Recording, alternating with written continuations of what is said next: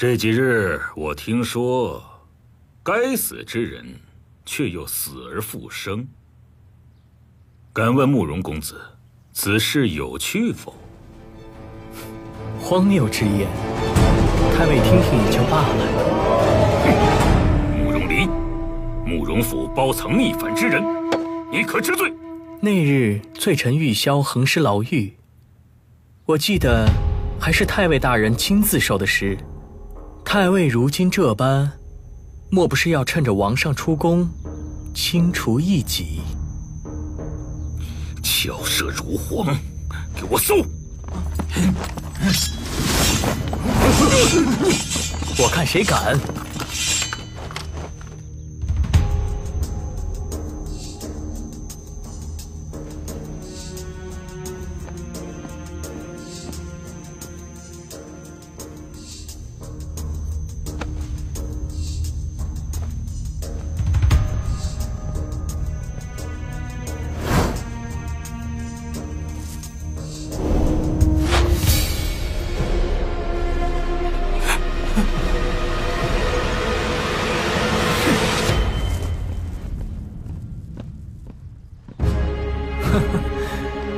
太尉大人，请吧。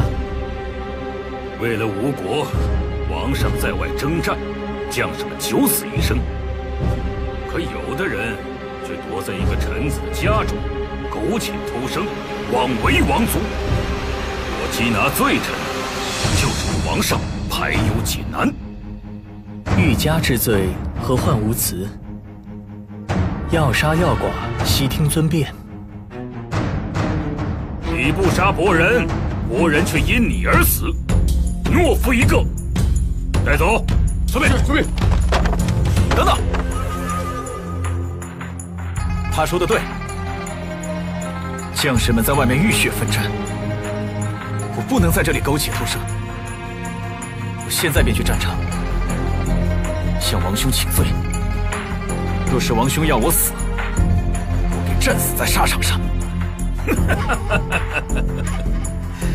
你果然没死，一个罪臣还想上战场？明日我便将你送上断头台。把他们两个都给我带回去。遵命。